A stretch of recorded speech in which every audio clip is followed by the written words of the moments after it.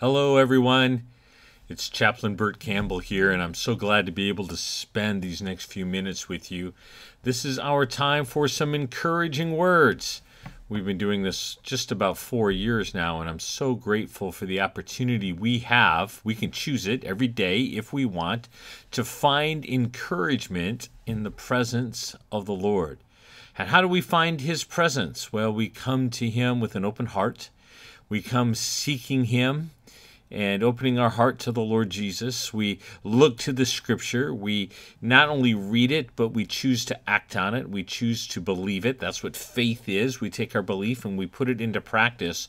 And as we look to God, as we choose to honor Him, as we, lo- uh, as we look to honor His word and act accordingly, there is a hope that comes because we re- understand and realize we're not walking through this life on our own, simply trying to find our own way. That could be daunting. But in the midst of everyday living, we can know that there's a God who loves us, who works with us in any given moment, who directs us, who comforts us, who empowers us, who gives us the grace and mercy we need each and every day. And as we experience a vibrant relationship with Him, there is encouragement to be found every single time. It doesn't mean that we will never have off moments where we feel disappointed or disheartened.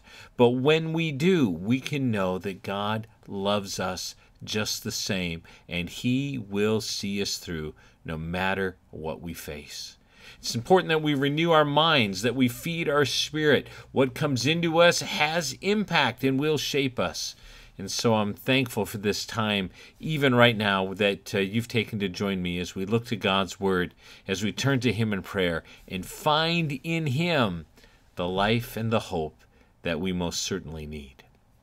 The scripture that I want to share with you comes right from the very beginning of the Bible. Once again, this year, here we are right near the start of a new year, and uh, and I have chosen on my phone um, to uh, to use a Bible app, an application called the YouVersion Bible, Y O U YouVersion, and that's a Bible app where you can look up just about any particular translation of the Scripture that you want, and uh, and read verses.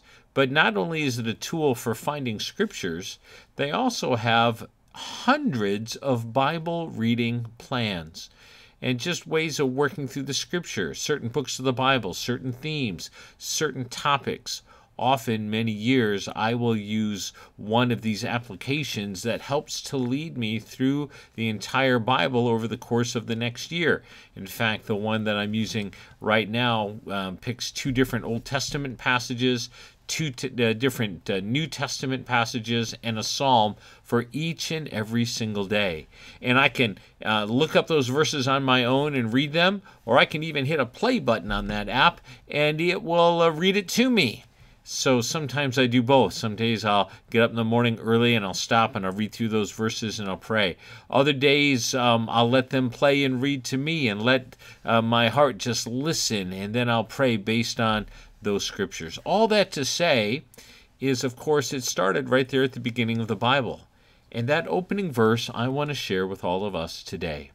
From the book of Genesis, the first chapter and the first verse, we get an account of the creation of all that is, where it simply says that in the beginning, God created the heavens and the earth.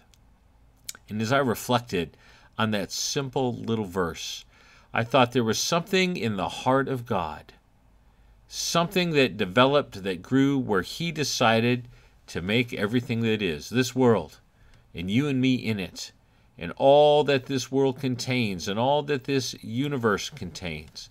And why did He do that?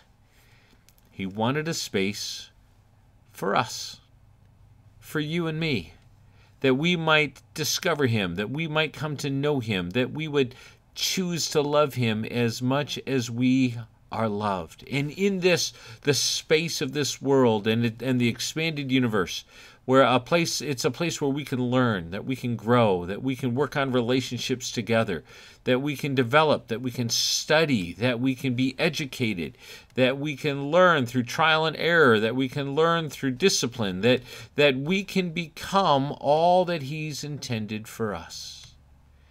God made a space for you and I in the very beginning. And as we step into a new year, it is also very much, in a sense, an opportunity for a new beginning. And as God made space for you and I so long ago, really, I think because of his love for us, can I ask us, have we made space for him?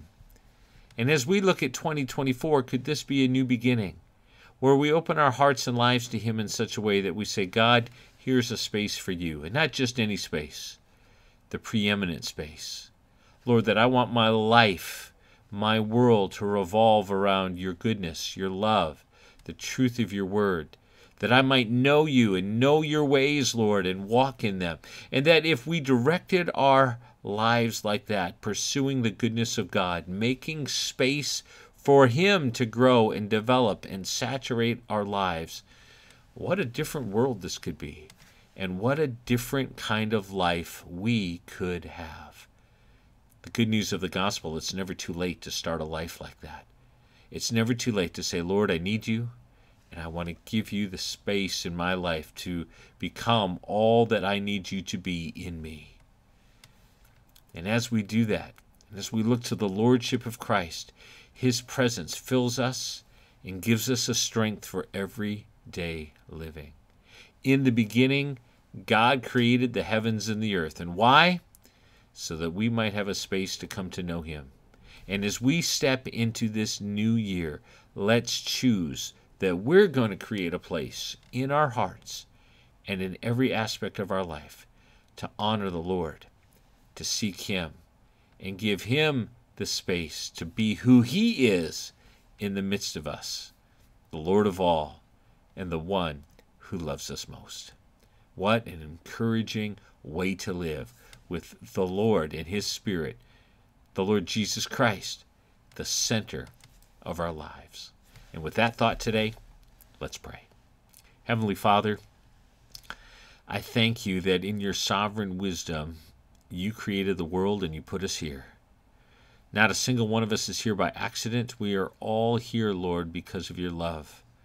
No matter how the circumstances of our birth took place, no matter whether that was in the midst of rejoicing or heartache or tragedy or the foolishness of people or the planning of people. Lord, we can't control any of those outside factors. What we do know is that each and every single one of us, every life, is precious to you. And having been placed in this world that you created, you have a design and a purpose for us all that we would know you, that we would love you with all our hearts. And so that's how we come to you today. Lord, asking you to fill the space in us, that you'd be the center of our lives, that our world would revolve around you, and that you wouldn't occupy some space just off to the side somewhere, but that you would be, Lord Jesus, right at the very core of what we say, what we think, all that we do. Capture our hearts afresh and Lord, with the start of this new year, here we are in the beginning. Help us to create space for you to live and move and have your being. Thank you for hearing our prayer today. Thank you for your love and for being with us, even in this very moment. In Christ's name we pray. Amen. It's a new year. Glad to be back with you. Tune in uh, tomorrow every day this week, Monday through Friday. We'll do our best to have videos for you to see here at Friendship Village at uh, 8.30 in the morning. What am I saying? What time do we do them? 8 o'clock. 8 o'clock in the morning every day. This uh, video will repeat um, at 8 o'clock in the evening as well. It's brand new at 4.30. You can tell I haven't done this all month. We've been off for the month. Let me let me say all that again. Uh, uh, these videos will show 4.30 today, 8 o'clock tonight, and uh, 8 o'clock again tomorrow morning. And uh, if you miss, if you ever miss one, tune in to our YouTube page, youtube.com um, backslash the at symbol, then FVC Chaplain, and you can catch our, our other encouraging word videos, our special services, our memorials, our Sunday mornings, our Bible studies. All of that can be found through the links on that page. If you are watching online, would this video help encourage someone else? Perhaps consider sending them the link. And also online, you can click on this circle to subscribe to these videos and be notified when new ones appear, or click on the box below to watch many in our past history. So good to be with you today. Have a great day in the Lord. It's a new year. Amen. See you soon.